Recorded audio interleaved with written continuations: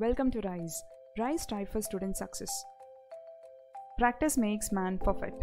Only when student practice, his subjective strength will improve.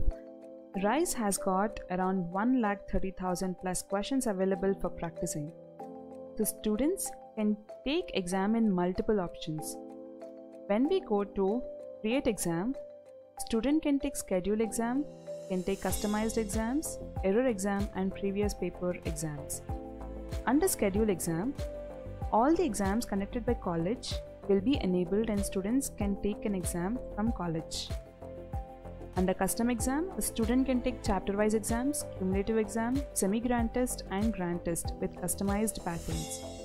Under error exam, students can rectify all the mistakes which has committed by taking an error exam. Under previous paper exam, student will get an opportunity to take an exam from existing previous papers. When we go to custom exam, he can select either 11th or 12th syllabus and take a cumulative exam by selecting multiple chapters from all the subjects. Let us now see how the custom exam appears. So here I have selected certain chapters from all the subjects and I'm starting the exam. So all the exams which are conducted by Rizee are as per the NTA format. So students will get an exam environment which they face in their real-time exam. I'm just starting the exam. So here students can take exam from physics, chemistry and mathematics. And after your exam is done, just complete the exam. Now, if a student is done revising a chapter, he can take a chapter-wise exam. If a student is done revising one whole year syllabus, either 11th or 12th, he can take a semi-grand exam.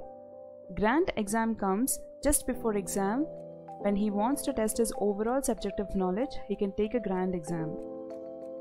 Whatever the exam he take, all his results will be displayed under exam history.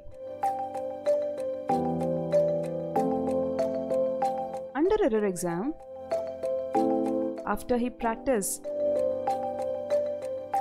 a chapter, his mistakes in that particular chapter can be rectified by taking an error exam on that particular chapter. If not, he can select multiple chapters from multiple subjects and rectify all his mistakes in those selected chapters by taking an error exam from all the selected subjects. Under previous paper exam, a student will get an opportunity to solve all the previous year's papers right from 2013 till 2020. If he go under JEE Custom, he can take a customized exam based on his preference from the existing previous year's papers. Thank you.